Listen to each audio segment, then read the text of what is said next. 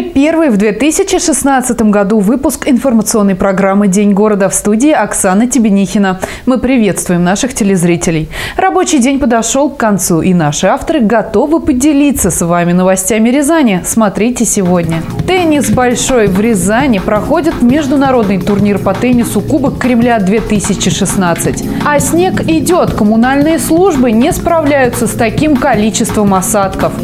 Сотрудники силовых ведомств подводят итоги своей деятельности в праздничные дни. В Рязани 8 января стартовал международный турнир по теннису Кубок Кремля-2016. В нем принимают участие юноши и девушки до 15 лет. Проходит он на базе Академии тенниса имени Озерова. 9 числа состоялся первый день игр. Рязанцы и гости города могут посмотреть за играми юных теннисистов. Вход на балконы зала Академии свободный. Ну а более подробно расскажет Алена Куколева.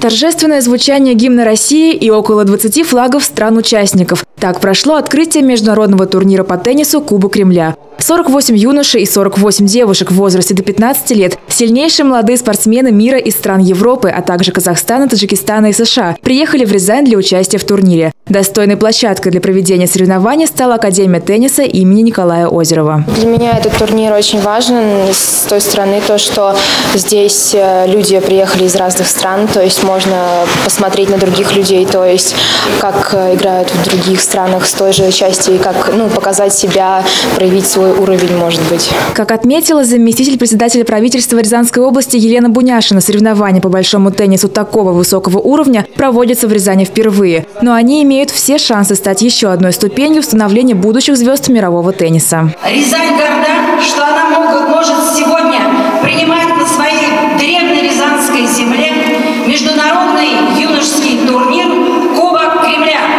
На соревнованиях присутствует и руководитель Федерации тенниса России Шамиль Тарпищев. Он назвал Кубок Кремля самым значимым молодежным турниром в стране. Данная академия, данный центр – это первый опорный центр, который э, построен в России по комплексной целевой программе, утвержденной Министерством спорта. Игры в рамках турнира продлятся до 16 января. Вход для всех болельщиков свободный.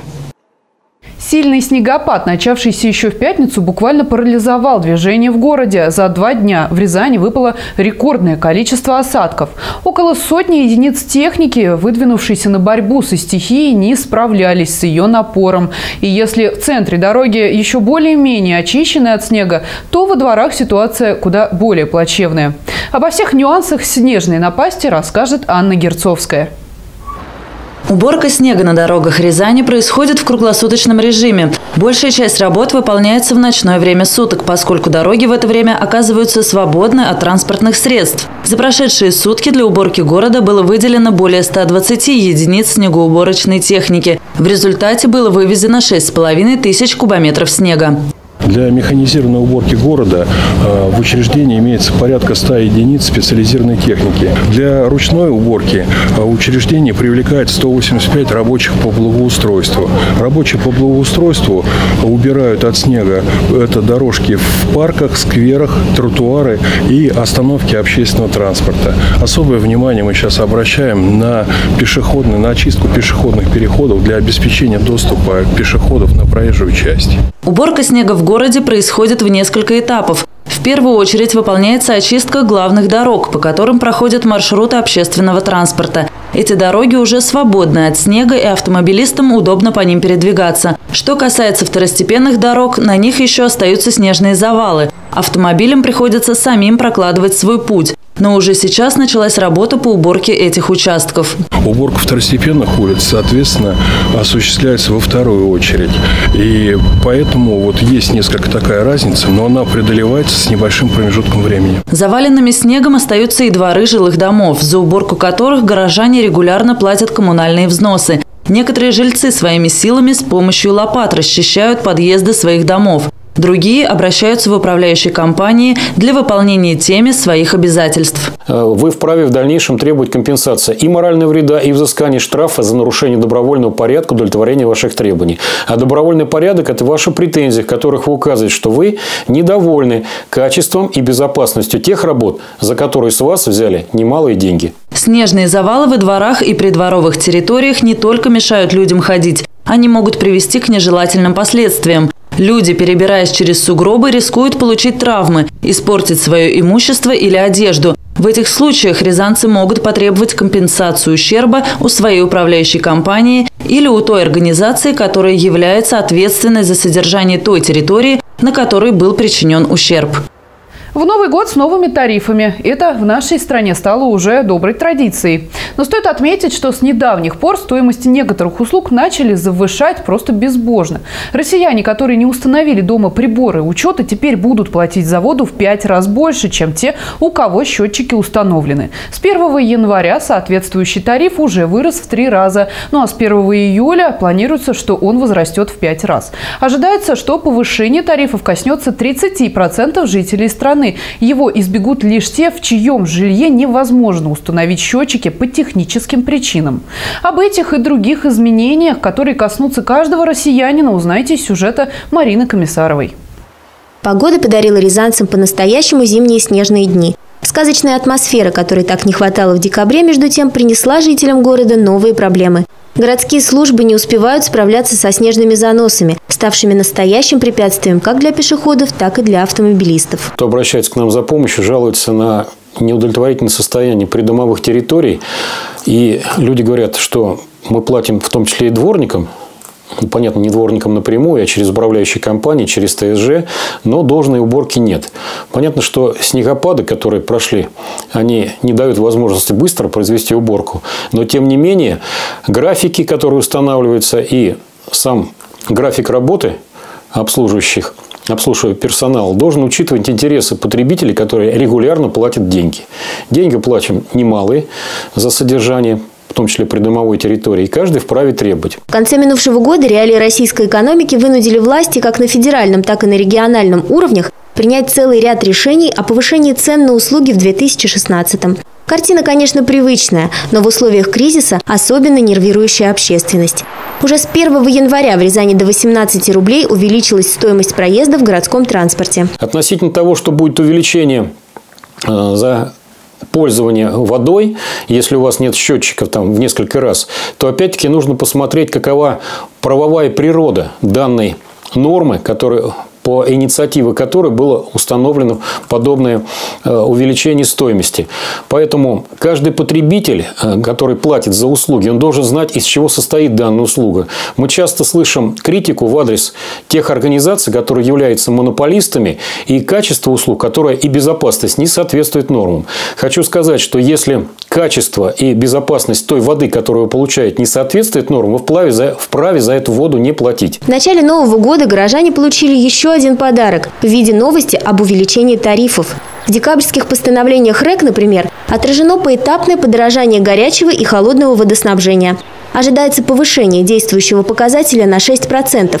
При всем этом не стоит забывать, что вы вправе требовать заключения письменных договоров на оказание данных услуг и требовать в дальнейшем тех объемов услуг, за которые вы заплатили. Давайте начнем Новый год с того, что будем больше знать о своих правах, но и в том числе об ответственности. Если действительно вы являетесь должником, то вы обязаны платить, и те штрафы, которые установлены законом, они в том числе должны оплачиваться с вашей стороны. Чтобы подобного не было конфликта, конфликта, здесь нужно найти цивилизованный диалог. И я думаю, вот это заключение, э, заключение письменных договоров и предоставление смет с указанием объемов и стоимости даст вам возможность проконтролировать качество и объема тех услуг, которые вам оказывают монополисты. Похожая динамика будет и у водоотведения.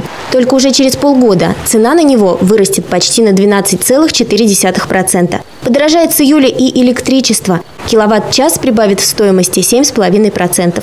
В октябре правительство Российской Федерации установило в Рязанской области предел подорожания коммуналки – 4,4%. Теоретически, выше этого уровня в 2016 году сумма в вашей квитанции подняться не должна.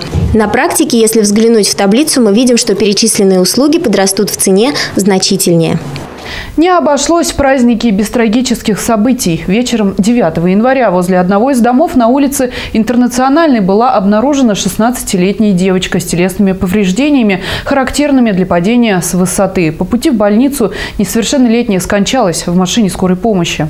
В целях наиболее полного выяснения всех обстоятельств произошедшего, а также причин и условий, которые способствовали э, совершению несовершеннолетней суицида, Московским межрайонным следственным отделом города Рязань Следственного управления Следственного комитета России по Рязанской области возбуждено уголовное дело по признакам преступления, предусмотренного статьей 110 Уголовного кодекса Российской Федерации. Это доведение до самоубийства.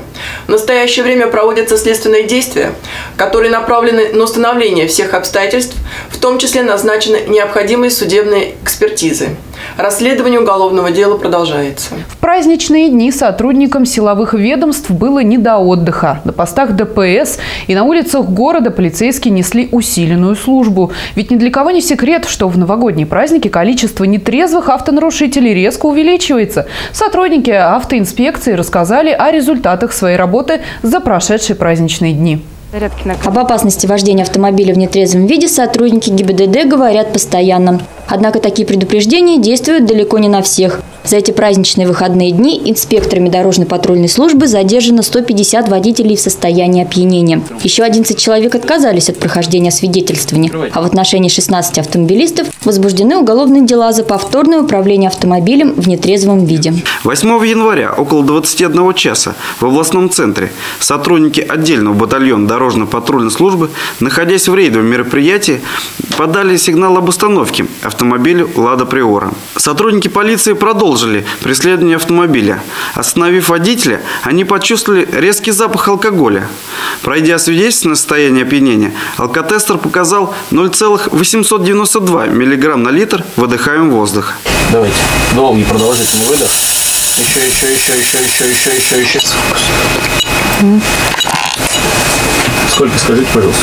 0,892. Причем для этого водителя вождение автомобиля, будучи на веселе, не в новинку. Его уже штрафовали на 30 и на 50 тысяч рублей. Лишали права управления транспортным средством более чем на 5 лет и даже арестовывали на 15 суток. Однако мужчину это ничему так и не научило. Теперь любителю выпить и в пьяном виде сесть за руль грозит уголовная ответственность.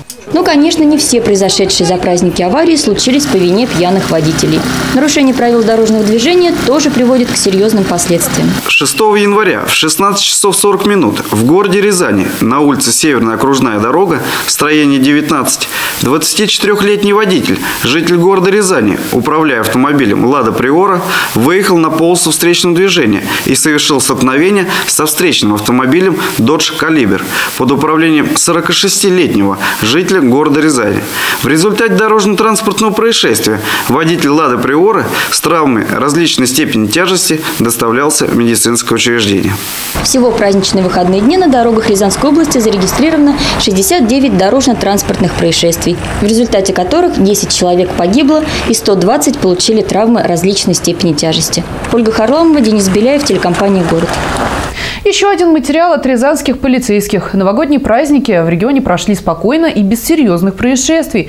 А о том, какие рейды проводились сотрудниками полиции в городе и области в первые дни 2016 года, расскажет Наталья Новикова.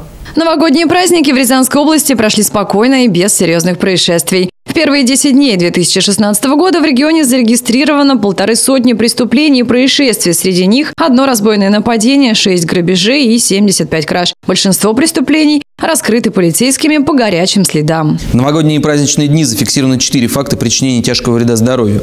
В ходе расследования установлено, что инциденты произошли на бытовой почве. Преступления раскрыты, подозреваемые задержаны и привлекаются к уголовной ответственности. В праздничные дни сотрудники полиции проводят рейдовые мероприятия по выявлению и пресечению нарушений в сфере розничного оборота алкогольной продукции.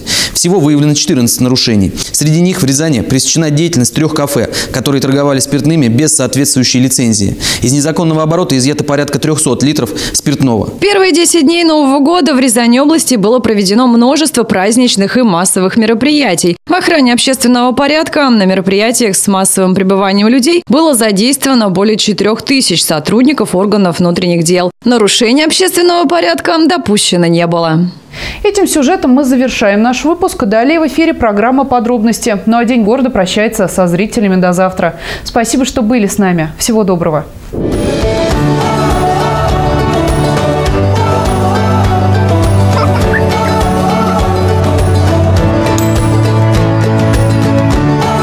Комплекс «Вива». Как в городе, только лучше.